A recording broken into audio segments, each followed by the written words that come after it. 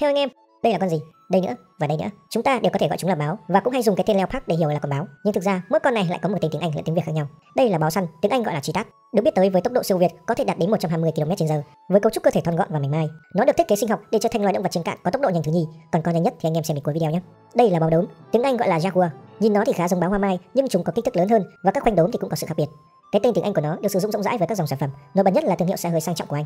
Con này là báo hoa mai, tiếng Anh gọi là leopard. Chúng dài từ 1 đến gần 2 mét, cân nặng thì khoảng từ 30 cho đến 90 kg.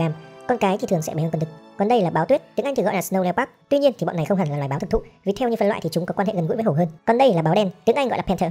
Thực ra thì con này không phải một loài riêng biệt. Cái tên panther được đặt cho báo hoa mai hoặc báo đốm, những con mà có toàn bộ lớp lông màu đen do biến dị di truyền.